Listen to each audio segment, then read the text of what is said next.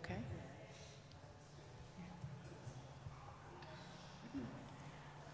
Good morning, everyone, and welcome to this first Sunday in April.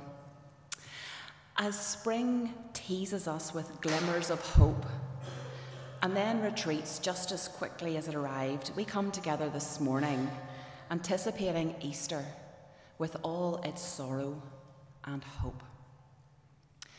Life is messy. It's full of wonder and joy as the sun reminds us of the warmth of God's love.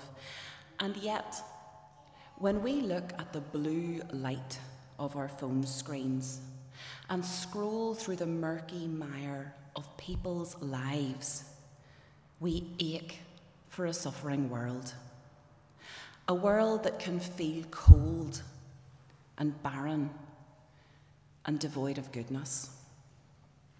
This morning, we are going to explore the familiar story from John's Gospel, the raising of Lazarus. Though we've read the story before of Lazarus' miraculous rising from the grave, I would like to encourage you this morning to park your familiarity with this tale. It is a messy one. It is a story steeped in sorrow and heartache.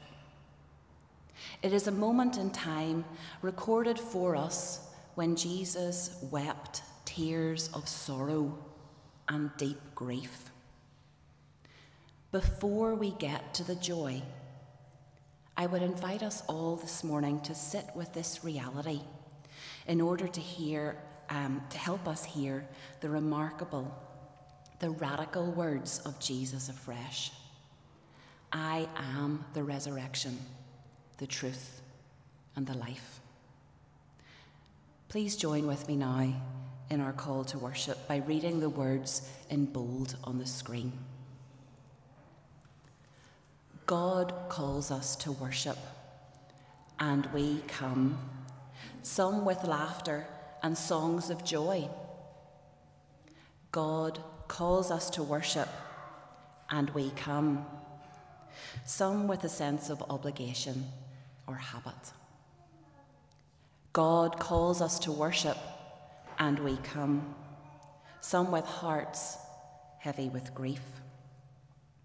God calls us to worship, and we come, some with distraction or exhaustion. God calls us to worship, and we come, some with eagerness and enthusiasm. God calls us to worship, and we come, some with stress, loneliness, or depression. As God's dearly loved children, we bring all our joy and pain, hurt and hope into this place of spirit given grace, love, and hope. Stand with us now in our call to worship, our opening praise, sorry, um, God of grace, amazing wonder.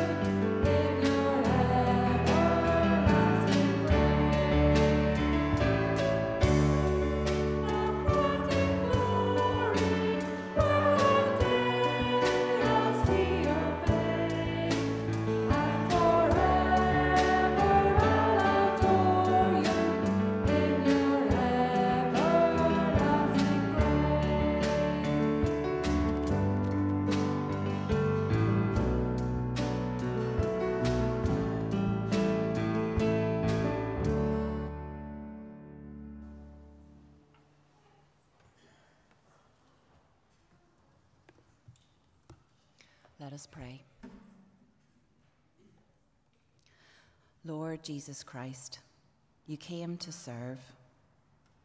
As you came to a blind man and gave him sight, come to us in our darkness and show us the things we cannot see. As you came to a man tormented in his mind and gave him peace and healing, come to us in our tensions and make us whole.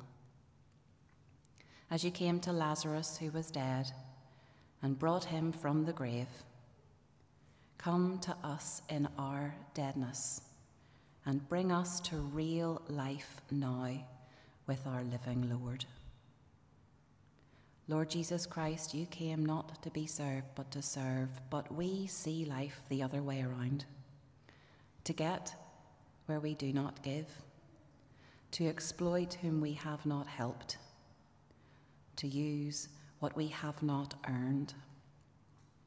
As you came to a dying thief and promised him paradise, come to us now in forgiveness and give us hope. In your name, Lord, we pray. Amen.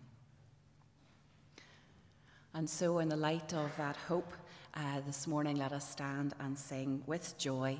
He's got the whole wide world in his hands.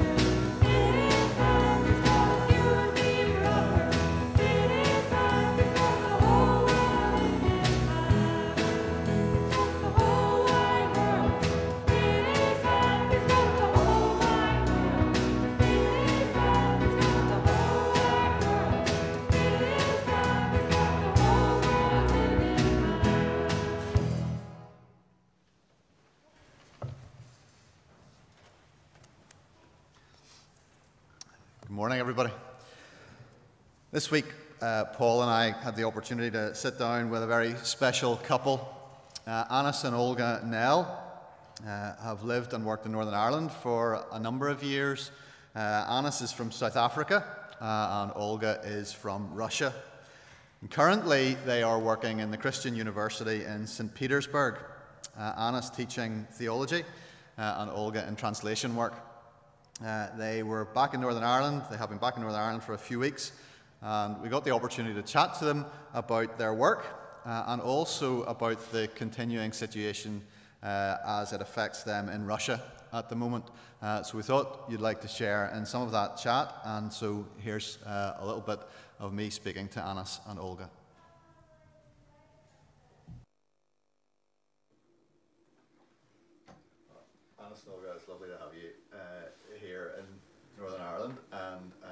just to get to know a little bit about you and the work that you're doing. Um, if you could tell us a little bit about what uh, what you do in, in St. Petersburg and uh, the church that you're part of there as well. Mm-hmm. Um, we are teaching at the Christian University in St. Petersburg. Um, it is a, a, a Protestant uh, training center for pastors, for Christian leaders, and so on. It's been there since um, 1990, just mm-hmm. after the fall of communism. So it's the oldest and most established uh, training center for Protestant uh, believers. Now, Protestant, you know, is just very, very wide. Here as well, very Yeah. broad concept, and it's the same in Russia. Um, so uh, I'm teaching mostly practical theology. Uh, I was supposed to teach systematic theology. I do it in English, and my wife has the ability, you know, very good ability to speak Russian. So she's teaching. Uh, she's actually teaching. Uh, Okay. I, I'm, I'm just, uh, I'm just saying the English, and then uh, she normally corrects me a little Yes. bit and so on. Yeah. But the situation uh, in the Protestant education in Russia, that most of the churches were founded after Perestroika, so they are quite new, Okay. and um, people didn't have education when they took over after missionaries left Russia. Mm. Uh, so now it's really important to educate pastors in Russia. Yeah. Um, and so Anis um, came to teach systematic theology, but then uh, the university said no, but we have nobody teaching in practical theology because there is not one book in Russian in practical theology. So Anis developed the courses in practical theology, and now he wrote the first study book in practical theology, which I still need to translate. Okay. it's a huge job in front. But uh, yes, it's really helpful for the churches there. That's our, our biggest challenge now is the translation of the material. Yes. Um, it's m- m- much of it has been translated roughly, you know, but uh, Mm. but the book now it's a, it's a big, very big project, Yeah. and we uh, after Olga translates that, it needs to be edited and Okay. Yes. hopefully be published uh, by next year. So that will be the Okay. first thing in in that field. It's the first practical theology book in Russian. Yes. Yeah. yes. Fantastic. Mhm. Fantastic. Well, can you tell us a little bit about um, how things have changed for you over the last, maybe over the last number of years, but over the last couple of months, particularly in Russia? Over the Uh, last couple of years, it also changed a lot Yeah, yeah, yeah, because we we were uh, you know we had to adapt to a new uh, church culture Yeah. uh, because Olga uh, uh, you know became a Christian uh, basically in in southern Africa and Okay. in Northern Ireland, so she didn't know any of the church culture. And Yes, when we came back, it was all new for us. We need Okay. to learn the context. Okay. Um, and I didn't even know the terms in uh, Russian, you know, Christian terms. Mhm. So it was quite a challenge Yeah. at the beginning. But over the last months or, s- or so, things have changed uh, radically. We never expected uh, something like this to happen. Mhm. Uh, and for the churches, this is Mm. extremely challenging um, because we we're trying to be a witness in, Yes. in the community uh, with a lot of things that, that we do, but the the churches, uh, you know, cannot speak out much uh, in in a, situation like this. Protestant churches in general would be uh, a little bit under pressure uh, because the main church is the Orthodox Church. So uh, the, the uh, Protestant churches are not allowed to evangelize or, or so. Uh, uh, so they would be more careful as well. They need a license, you know, to to uh, uh, practice uh, and and so on. So they would be. So the prophetic task of the church, you know, to Mm. speak out Mm. is not really possible uh, Okay. in a situation like this. So certain we, we need to avoid some certain language and so on. Mhm. On a practical level, um, financially, it it changed a lot Yeah, it's Yeah. very hard now, very hard financially. Yes. Yes, uh-huh. because uh, Yeah. all the, the you know Swift has been cancelled, Mastercard, uh, and so on. So the people in Russia they still get their their money in Yes, rubles, so yes. that's okay. But Mhm. it, maybe you can say something about the Um, ach no, the The prices, prices. have gone up. I was Mm. in the shop and uh, they said, guys, whatever you see, the prices there, they are not actual now. When you pay, you know, then you will know how much it Okay, costs. So okay. it changes every hour, you know, okay. the prices. Okay. And Okay. You can't find some foods in the shops like sugar disappeared or Mm-hmm. salt or something like that. Mhm. So some things just uh, not only double but five times more. Mhm. So uh, yeah, it's. I feel sorry for Yeah. For the people because we lived through perestroika when it was chaos, when Yes. it was all destroyed, and um, it was hunger, um, and Yes. now just yeah. yeah, it's a real practical economic Yeah. Challenges. Yeah, the Yeah. the yeah. Mm, older people with their pensions, you know, Mhm. uh, is now basically Yeah. forty percent yeah.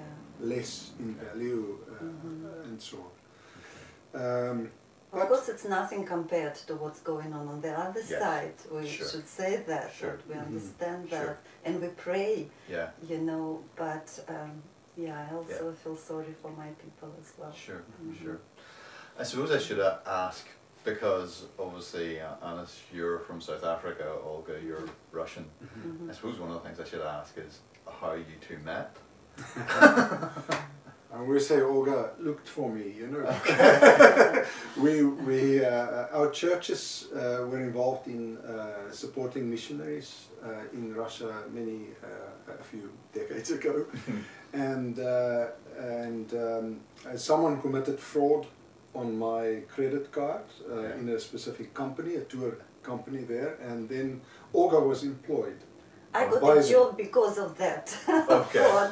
So when we arrived at the the the, the uh, place where we stayed, uh, she was looking for me all the time. Okay. You know, because the director of the company wanted to speak to me. So Okay. that's why I say she always looked for me. you know, she. So that's where we met, and then later on, uh, Olga also became involved with uh, helping us with church groups coming. Okay. So, yeah. So you're really thankful to that person who defrauded your. Yeah, yeah, yeah. I'm quite thankful. I'm not sure about Olga. but we had good, uh, you know, we lived in Namibia, then we lived in South Africa, then we came here to Northern Ireland. Okay. So, um, tell us then, as you think about going back to uh, St. Petersburg at the end of April, um, how can we pray for you? Yeah, I think uh, Olga can uh, also say, but I think for the church, for the church in in Russia, you know, to to remain faithful uh, to the gospel at, at this stage, and specifically to be able to support each other, you know, uh, pastorally support each other in situations like this. Some uh, people in churches lost their businesses, lost their their lively, livelihood. They can, you cannot find new jobs as well Mm. because there are no jobs. So, on that level, uh, the church plays a huge role, Mm. you know, to to get the community of believers together. Our mm, minister in our church said the last few Sundays is record, absolute record attendance Okay. and people are praying, Mhm. really praying now. So uh, for the university, uh, you know, that we would continue uh, with our work. Uh, university uh, didn't stop working, you know, so we, we just continue. But emotionally, it's Mhm. very difficult. Mm. Uh, some of our students Yeah. asked, could you, could you please give us just extension on when we should Mm. um, submit our, our stuff. We, we cannot concentrate. Mhm. That's how it is at the moment. Mm. Yeah. And then financially, maybe for, for our Yes. staff, Yes. for, uh, because just to give you an example, 250 pounds a month is more or less the salary of our colleagues. Mm. Now you can imagine now with Yeah. the exchange rate that it's much less. So just how, we we don't know how they survive in any case, you Mm, know, and mm, now it's even mm, more difficult, and uh, the students as well. Okay. Well, thank you for sharing. I mean, Olga, you wanted to say something as well? Uh, just in these dark times that the church in both countries would be the light, light. would show the light. Yeah. Uh, because God also works powerfully during troubles, during hard times. So and also for the unity of Christians, Mm. you know, over borders, uh, supporting each other and just being the light for the world. Absolutely. I think that's a really good good note to finish on. That idea that as we're we are brothers and sisters in Christ, Yes. Yes. Wherever we come from and whatever Yeah. side of the border we we are on. Uh, Yeah. That's brilliant. Thank you very much, both of you. I know we'll be praying later on in the service for uh, for you and for the, the, the and we're continuing to pray for the situation in uh, both Yeah. Russia and Ukraine over these days. So thank you so much. Thank you.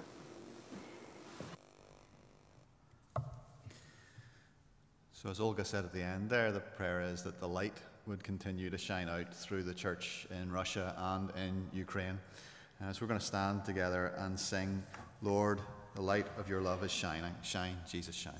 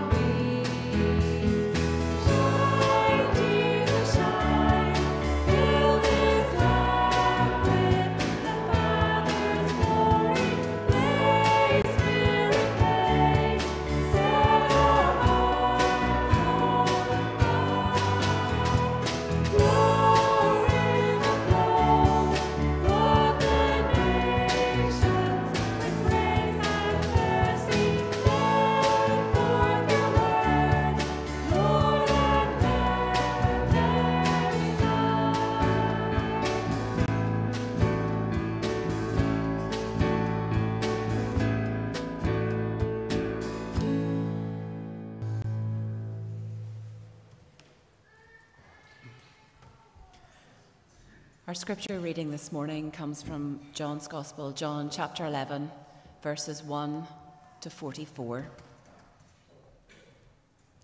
Now, a man named Lazarus was sick. He was from Bethany, the village of Mary and his sister Martha. This Mary, whose brother Lazarus now lay sick, was the same one who poured perfume on the Lord and wiped his feet with her hair. So the sisters sent word to Jesus Lord, the one you love is sick. When he heard this, Jesus said, This sickness will not end in death. No, it is for God's glory that God's Son may be glorified through it.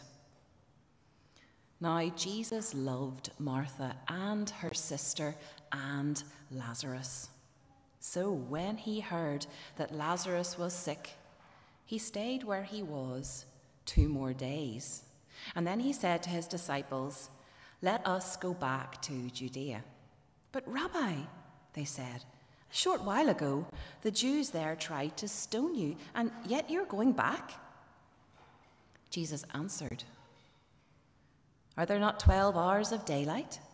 Anyone who walks in the daytime will not stumble, for they see by this world's light. It is when a person walks at night that they stumble, for they have no light. After he had said this, he went on to tell them, Our friend Lazarus has fallen asleep, but I am going there to wake him up.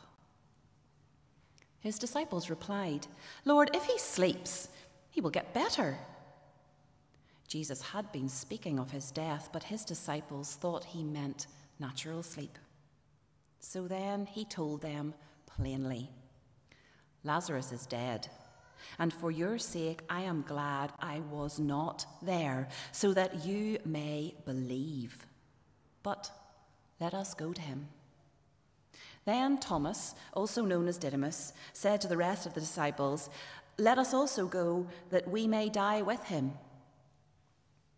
On his arrival, Jesus found that Lazarus had already been in the tomb for four days. Now, Bethany was less than two miles from Jerusalem, and many Jews had come to Mary and Martha to comfort them in the loss of their brother. When Martha heard that Jesus was coming, she went out to him, but Mary stayed at home. Lord, Martha said to Jesus, if you had been here, my brother would not have died. But I know that even now God will give you whatever you ask. Jesus said to her, Your brother will rise again. Martha answered, I know he will rise again in the resurrection at the last day. Jesus said to her, I am the resurrection and the life. The one who believes in me, believes in me, will live even though they die. And whoever lives by believing in me will never die. Do you believe this? Yes, Lord, she replied. I believe that you are the Messiah, the Son of God, who has come into the world. After she said this, she went back and called her sister Mary aside. The teacher is here, she said, and is asking for you. When Mary heard this, she got up quickly and went to him. Now, Jesus had not yet entered the village, but was still at the place where Martha had met him. When the Jews who had been with Mary in the house, comforting her, noticed how quickly she got up and went out, they followed her, supposing she was going to the tomb to mourn there. When, Mar- when Mary reached the place where Jesus was and saw him, she fell at his feet and said, Lord, if you had been here, my brother would not have died. When Jesus saw her weeping, and the Jews who had come along with her also weeping, he was deeply moved in spirit and troubled. Where have you laid him? he asked. Come and see, Lord, they replied. Jesus wept. Then the Jews said, See how he loved him. But some of them said, Could not he who opened the eyes of the blind man have kept this man from dying? Jesus, once more moved, came to the tomb. It was a cave with a stone laid across the entrance. Take away the stone, he said. But Lord, said Martha, the sister of the dead man, by this time there is a bad odour, for he has been there four days. Then Jesus said, Did I not tell you that if you believe, you will see the glory of God? So they took away the stone. Then Jesus looked up and said, Father, I thank you that you have heard me. I knew that you are always uh, that you always hear me. But I say this for the benefit of the people standing here, that they may believe that you sent me. When he said this, Jesus called out in a loud voice, Lazarus, come out. The dead man came out, his hands and feet wrapped with strips of linen and a cloth around his face. Jesus said to them, Take off the grave clothes and let him go. Amen.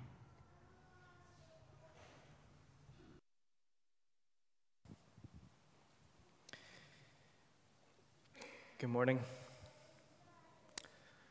There is so much that is extraordinary about the passage Emma's just read to us. But most extraordinary of all, I think, more extraordinary even than the sight of the dead man walking, are the words spoken by Jesus to the grieving and heartbroken Martha I am the resurrection and the life. The one who believes in me will live, even though they die. And whoever lives by believing in me will never die. These words are so familiar to us that we easily miss the gravity of what Jesus is claiming here. But when we stop to think for a moment, we're quickly overwhelmed by the seeming incomprehensibility of these words. What can Jesus mean with all this talk about believing and living? About dying and not dying? How are we to believe that He truly is the Lord of life as we've been considering all these weeks in John's Gospel when the reality remains that He allows people to yet die? Faced with these questions, we can understand why Jesus follows these words with a question of his own Do you believe this? That's the question to ask, isn't it? Do you believe this, Martha? Even now, when your brother is in the tomb, do you believe that I am?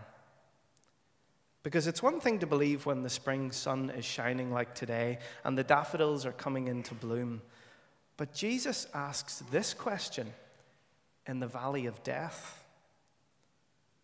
And in that place, it takes on a different weight. Do you believe, Martha?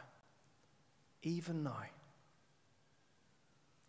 Friends, I feel I have to admit to you today that I have felt the weight of that question this past week. As some of you will know, a young man from our home congregation died very suddenly just a couple of weeks ago. Daniel was a beautiful, kind, and a brilliant young man. He brought happiness and joy to so many people. And I know that includes some of our young people at Kirkpatrick who went to school with him. Death is so difficult to accept at any age. But the death of one so young and one so full of life is hardest of all to comprehend. It leaves us feeling shaken and confused. It confronts us with the cruel reality of death that life is so, so fragile, and that to lose someone we love is so final, so absolute. And yet, into this dark valley, God moves in.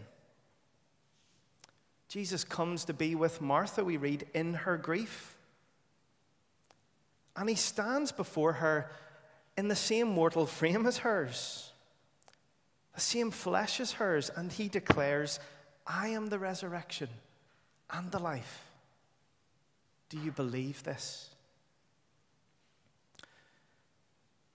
There's so much in these 44 verses, as I've said, that we could explore today, but in the light of the week that has just been, it's this question of belief that I want us to focus on. What does it mean to believe these words of Jesus? What difference does belief in Jesus make when confronted with the reality of death? And what does belief look like when the gravity of death pulls us down? I think to answer these questions, we need to consider this last I am saying of Jesus in its context. Because though Easter cards and religious merchandise would emblazon these words against quaint backdrops of spring lambs and blooming meadows, John has none of that sentimentality in his gospel. Instead, he holds these words of Christ up to the ugly reality of death. And by doing so, he disavows those cynics of our faith who regard all this Christianity stuff as some emotional crutch for those who cannot face reality. Perfectly harmless, they'll say, but not at all realistic. Just sentimental claptrap. But that's not what I see here in John's gospel. Not at all. Death is not sugar coated by John. Instead, we are assaulted, aren't we, by the putrid smell of Lazarus' decaying flesh. Martha, even after saying she believes, doesn't want that stone to be removed because the odor will be too strong. You know, today, we've professionalized death to the extent that we're spared such indelicacies. But in John's day, death was not so easy to manage. It was common, it was ugly. And he does not shy away from this ugliness in his gospel. Jesus, in this passage, speaks plain words to the disciples Lazarus is dead. You know, I think in our society, well, we no longer know how to talk about death in such honest terms. Just yesterday, and I wasn't just writing my sermon yesterday, but just yesterday, I noticed an article in the Belfast Telegraph about this very thing. The columnist Emer McGovern was reflecting on the recent death of her father in law, which she explained has caused her family to confront their own reluctance to talk about death. As part of her discussion, she referred to a recent study, which, in her words, found that our brains do their best to keep us from thinking about death and try to shield us from existential fear by categorizing death as an unfortunate event that only befalls other people. We're so unused to talking about death that we tell, us, tell ourselves that it's an unfortunate event that only befalls other people. Part of the reason for this death denial must surely be the extraordinary advances in health and medical science, which is a wonderful thing. But it does lead us to struggle to talk about death. I mean, I heard one doctor say to me recently that medicine has advanced so much that death could now be understood as a medical failure. But death is not a medical failure, it's a fact of life. Death is not something that befalls other people. From dust we all are, and to dust we shall all return. This culture of death denial means that our society, absent religious belief, is ill equipped to deal with death. And comfort is found, ironically, in sentimental ritual and groundless platitudes. I'm thinking here of a poem I used to read with my students called Long Distance by an atheist poet, Tony Harrison. The poem describes how Harrison's father used to warm his mother's slippers long after her death. And he used to put a hot water bottle her side of the bed much to the poet's derision. But in the last few lines of the poem, Harrison admits something. He admits that after his father died, he found himself adopting the same sentimental rituals. Here's how it ends I believe life ends with death, and that is all. You haven't both gone shopping. Just the same, in my new black leather phone book, there's your name and the disconnected number I still call. And we Christians are accused of denying reality. See, when I read John 11, I don't see any sentimentality or empty platitudes. Instead, by his words and actions, Jesus faces up to the harsh facts of illness, death, and disconnection in our world. And just as importantly, he acknowledges the reality of loss, grief, and anger while trusting that they will not and do not have the last word.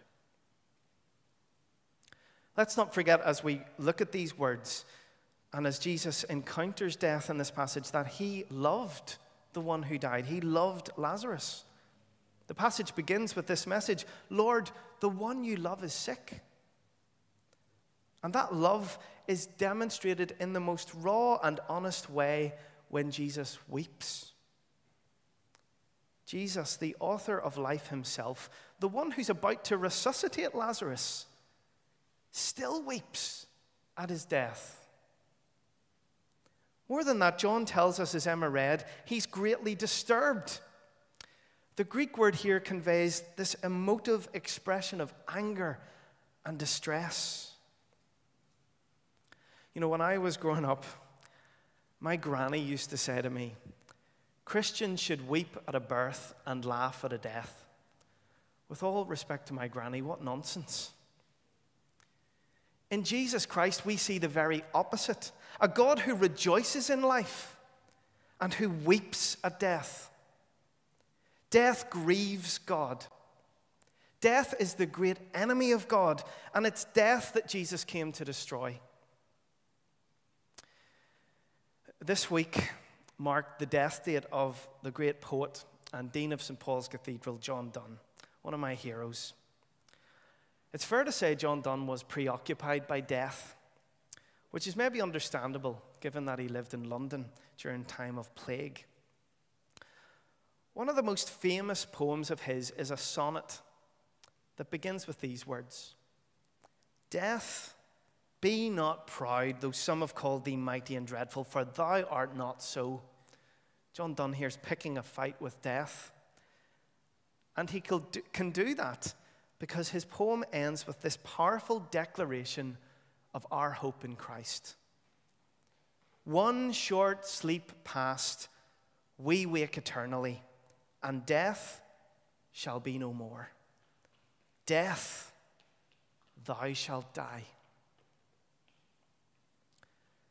Believing that Jesus is the resurrection and the life does not spare us from grief. Jesus himself wept. But believing in Jesus allows us to grieve in the knowledge that death does not have the last word. You know, at Tuesday's Thanksgiving service for Daniel, his father read a touching tribute to his son, and he told us how Daniel used to keep journals where he would write down memorable lines from books he was reading or films he had watched. The very last entry in Daniel's journal was a, a quotation from a Marvel character called Vision. Here's what he said What is grief if not love persevering? What is grief if not love persevering? You know, as I thought about those words in relation to John 11 this week, it struck me that it's in Christ that love perseveres. This is what it means to believe that He is the resurrection and the life. To believe is to persevere in His love and to trust in Him. We don't just believe the truth of what Jesus says, we believe in Him. We put our trust and our love in Him. And you see, this relationship of love and trust, it can't be destroyed by physical death. Paul tells us this in Romans, doesn't he? There's nothing that can separate us from the love of God, not even death. But this does not mean that we're spared physical death or grief or danger or suffering in this life. No, I think actually, as followers of Jesus, we should expect to feel those things even more deeply. Why? Because Jesus felt them. He walked towards them for our sake. And we're called to follow him, aren't we? See, we're not spared these things. But when we're in that relationship of love and trust with Jesus, we can be sure that he will sustain us and lead us as a shepherd leads his sheep. I think that's what Jesus means with those hard to understand words he speaks to Martha. The one who believes in me will live even though they die, and whoever lives by believing in me will never die. You see, I think he's describing here how life lived with him is not defined or dominated by death. It is a death transcending life, a life lived in relationship with him. And in this relationship, death is no longer the full stop or even the worst thing that can happen to us. In fact, a life lived with Jesus means that death, sometimes, as it was for Martha in this story, be an opportunity for deeper faith. The theologian David Ford has a wonderful phrase for this. He calls this Jesus centered realism. I really like that phrase. Jesus centered realism. His point is that physical death is not, is, is not ignored, but is relativized by Jesus, brought into perspective by Him, who is the resurrection and the life. In the light of Jesus, he writes, there is a distinction between the ordinary sense of life, life together that ends with death, and the eternal life, this extraordinary life of the one who says, I am. Yet this distinction is by no means a separation. Rather, Jesus fully affirms ordinary life and weeps over ordinary death, even becoming angry at death and the cost of experiencing it. You see, as Ford goes on to explain, what Jesus offers us in this life is full immersion in ordinary life and full exposure to ordinary death, but with the confidence of resurrection and a quality of life, love, and relationship with Him that begins now, this side of the grave, but which is not limited to it. This is the realism we find in Jesus, God made flesh. In his person, we find both the ordinary and the extraordinary together. And this ordinary, extraordinary, as David Ford calls it, is available to anyone who responds to him in trust and who lives and believes in him. This is what Jesus is enabling Martha to understand with that question Do you believe this? What he's really asking here is Do you believe in me, Martha? Do you love me, Martha? Do you trust me?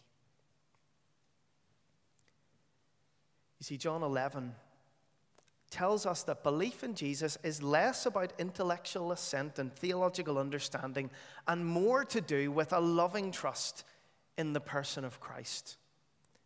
The resurrection and the life in Jesus are not some abstract, airy fairy concepts that float above our lived experience. They're divine realities that are embodied, made concrete in the person of Christ, who became sin and death that we might live.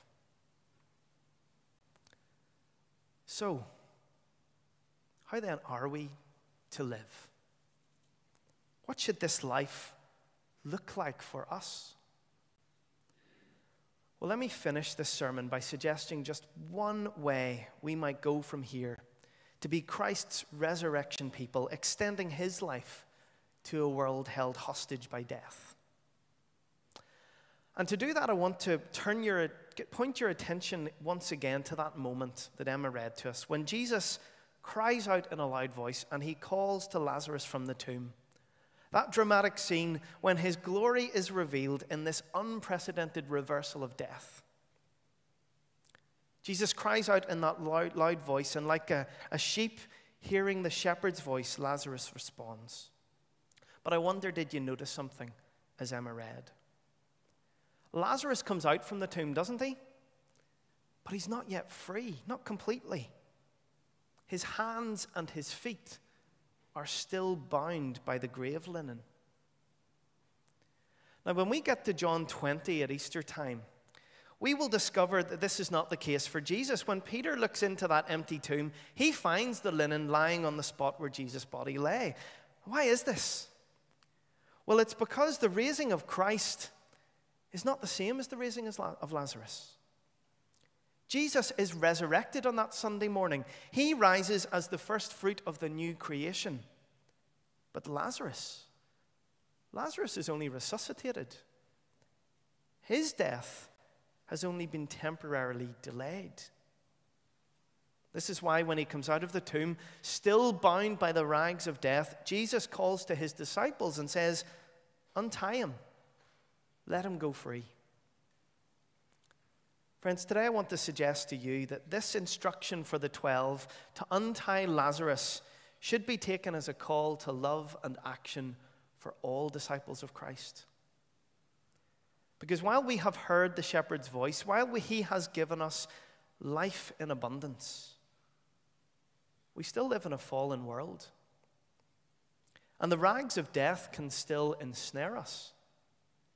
We've heard as much this morning from Anis and Olga and we see it on our news screens every evening.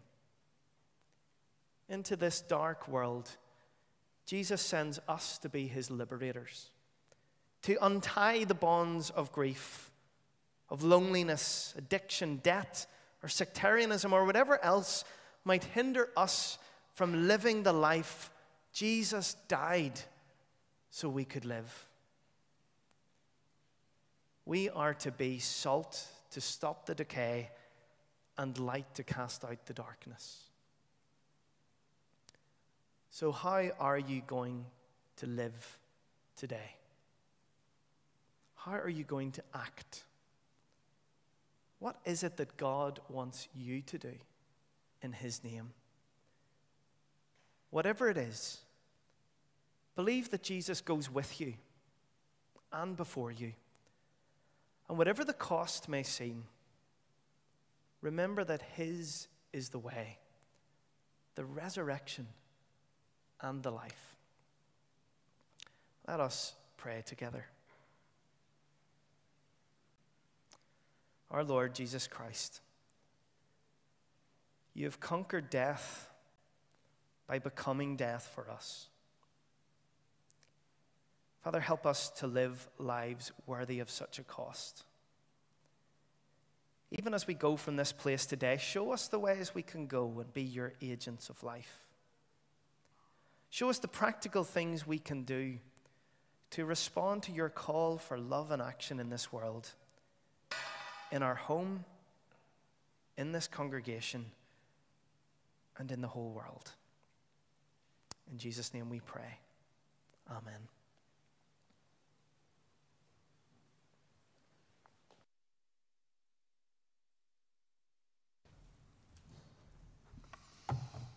You, Paul. Just wanted to share with you some of our plans for Holy Week as part of our announcements and also for your, your prayers as we move towards Easter time. Uh, we will be having a, a number of services, and on, on, Palm Sunday, we'll be having our normal um, Sunday morning two services.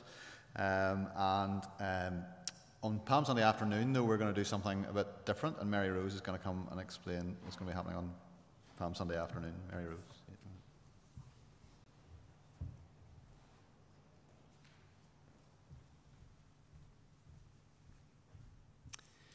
This year, we are providing an extra service over the Easter period. Next Sunday, Palm Sunday, there will be an afternoon accessible service at 3 pm here in the sanctuary of the church. This service is primarily for all those who find it difficult, perhaps, to get to church on a Sunday morning or have not been to church for a while for whatever reason. The service will last approximately half an hour and will include a short celebration of the Lord's Supper. Light refreshments will also be served in the pews at the end of the service. Friends and family are all welcome, and if anyone might need a lift, they can contact myself or the church office. And there, is, there are some yellow cards at the back of the um, church in the vestibule if you'd like more information to take away with you. Thank you. Thanks, Mary Rose. Also continuing throughout uh, this time are lunchtime liturgies. So the last two are coming up in the next couple of weeks. On Wednesday lunchtimes, we would encourage you to be part of that. Take time to reflect as we approach Easter time. Uh, then in Holy Week itself, uh, or on Thursday evening of Holy Week at 8 o'clock, we'll be having a communion service here in the church. Uh, and on Good Friday, uh, it's an invitational service. We'd encourage you to invite friends to come along to our service on Good Friday evening as we focus on the cross and as we draw people into the one uh, who said, I am the resurrection and the life, and who gave his life that we might live. So we're looking at that on Good Friday uh, evening at 8 pm as well. Uh, Easter Sunday morning, then, um, uh, we're planning to have a dawn service. Those plans are slightly uh, altered because Cregagh Glen, where that normally takes place, is undergoing work to one of its bridges, uh, and the bridges are closed. The bridge is closed. So we'll investigate that, and we'll let you know where the dawn service will take place. But Easter Sunday morning at 11 o'clock, please note this: at 11 o'clock we will have one morning service uh, here in the church. Uh, and that will be the pattern from then on. So we're coming back to one morning service together, 11 o'clock on Easter Sunday. Uh, it's, uh, it's such a lovely Sunday to be able to make that change and to bring people back together again. And we'll remind you of, of any uh, restrictions that continue to apply with regards to COVID, but we're really looking forward to Easter Sunday morning being together again uh, as one church family at 11 o'clock. Uh, on Saturday, the 9th of April, uh, then just this Saturday coming, as part of this uh, new approach to Lent, uh, a walk up Slieve Donard has been organised by Gareth Walls. That's leaving from Donard Car Park, Slieve Donard Car Park, at 7 a.m. Uh, if anyone needs a lift, the cars will leave SD Bell's car park at 6:15 a.m. And I know that uh, I know that a number of people took advantage of the Cave Hill Walk uh, the Sunday at the beginning of Lent. I hope that folks will join in with the Slieve Donard Walk as well. Another new approach to Easter uh, is that you might have noticed when you came into the building, there's some mesh sort of uh, gathered around the, the cross. So on Easter Sunday, what we're encouraging you to do as you come to church, uh, if you can bring a, a, a cut flower either from your garden or from an arrangement, and you can bring that with you and you can place that in the mesh as you come into church on Easter Sunday morning. It's a way of demonstrating this idea that new life comes from the death of Jesus upon the cross, and it's a lovely way to be able to show that reality to our community. You'll be reminded of that in the weekly update as well, but encourage you to do that and encourage your, your children to do that as well, participate in that. Also, just a reminder there's a new Zoom prayer time uh, beginning this week, 10 o'clock on Tuesday nights. Um, so, those of you who don't relish getting up at 7 o'clock on a Friday morning, 10 o'clock on Tuesday nights, there's another opportunity to gather together in prayer on Zoom, and the link is the same and it's in the, the update. Uh, also, just to say, uh, on a personal note, that the Kennedys are moving up to Belfast, uh, and uh, the moving date is this Friday, the 8th. So uh, you'll accept my apologies if I'm not around an awful lot this week as we do all of that moving around. Uh, but I want to thank everyone who's helped us uh, to get the house ready. In particular, Billy and Dan, you can now spend some more time in your own houses. So um, thank you for all of that work. We've already heard uh, from Anis and Olga this morning. Before we turn to our prayers for others, there's another short video um, from their pastor in St. Petersburg. His name is Hansi. Like Anis, he's also South African, but he shares with us some of the general picture of the work of the church. It's a wonderful privilege for me to just in a few minutes share with you how we are experiencing the situation we are in here in Russia. Uh, as you can hear from my accent, um, I'm South African. My name is Hansi, and I was sent to Russia as a missionary in 1996, and I've been living here ever since. And for the last 13 years, we've been living in St. Petersburg, where Anis and Olga have been uh, serving with us. And they are just such a huge blessing to our church and to the university here in our city. Um, we just want to thank you for praying for us. Um, it has not been an easy time uh, for us here. Uh, we, no one expected this to happen. No one thought that this was actually going to take place. All of us have friends and family uh, on the other side in Ukraine. And you've seen on the news how they have been going through terrible suffering. On this side, um, mostly we are going through economical difficulties. Uh, it is very difficult, for example, at the moment uh, to, to travel. It's very difficult to, well, it's impossible to buy anything via the internet on, from other countries uh, because um, SWIFT doesn't work here, the banking system. Uh, we don't have, for example, at the moment, white paper. There's a shortage in the country. Um, no car parts for foreign cars, uh, some medicines. Um, everything has become so expensive. Um, some people have lost their jobs, and those who still have their jobs, their salaries are the same, but prices have gone up. So it's not an easy time, but I think emotionally, a lot of people have been suffering just because of the pressure we are experiencing as well. Uh, but saying that it's nothing in comparison to our neighbors in Ukraine who have lost their homes and have fled for their lives. And that is actually what I want to ask you to pray for with us is that um, there will be unity amongst the churches. Unfortunately, uh, some churches in the Ukraine have accused the Russian church for not doing enough during these times. Um, and we understand that they are going through tremendous, tremendous trauma and pain. And we just pray, and we are fasting as a church as well, that this bloodshed will end and that there will be unity amongst the churches. Uh, for us here, uh, we are actually quite encouraged uh, by just what the Lord is doing in our meetings at the moment. Um, we are praying like never before.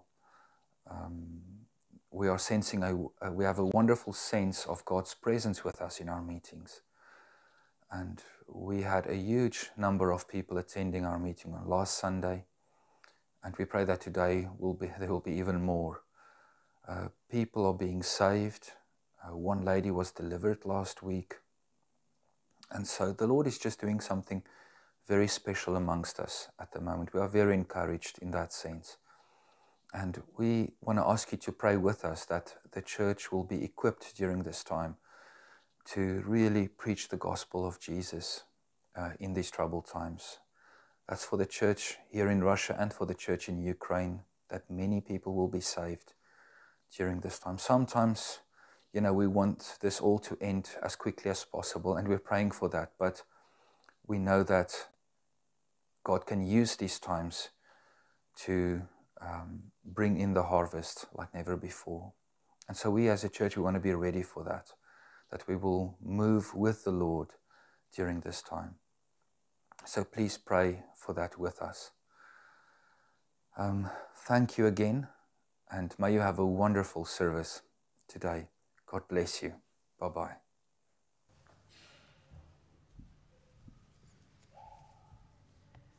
Please join with me in our prayers for others.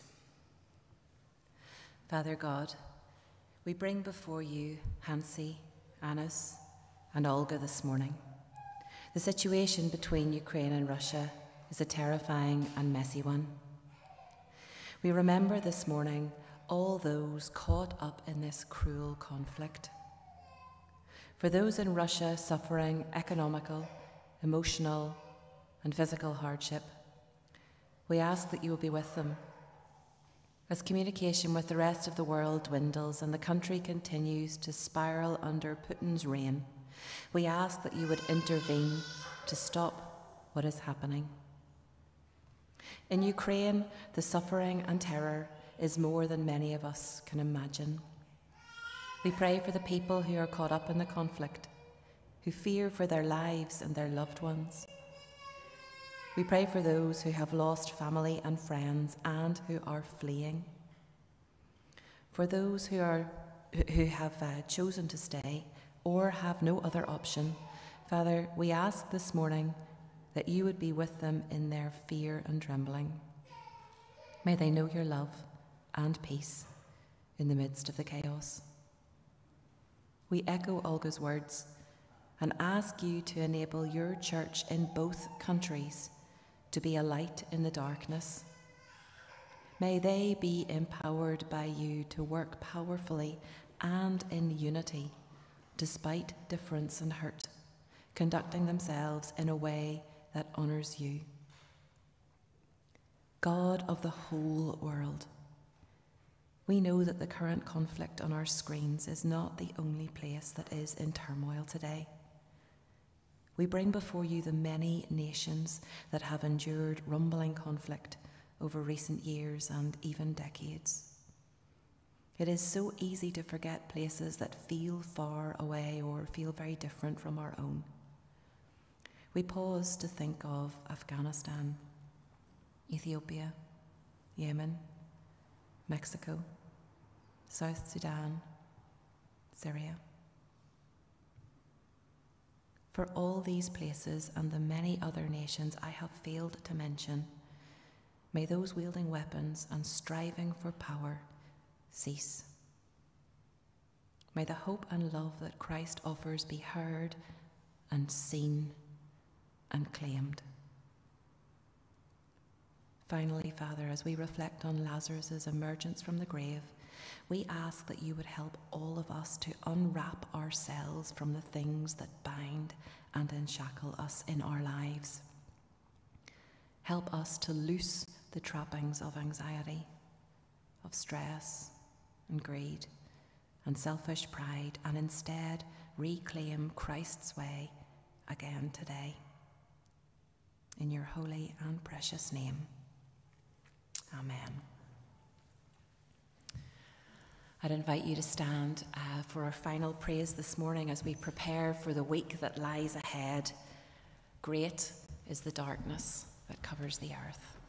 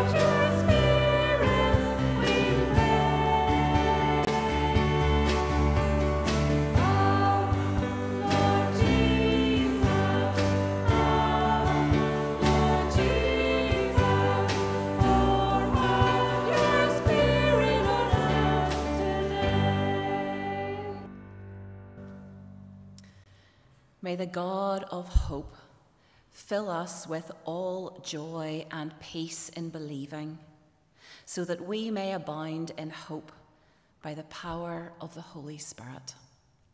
Amen.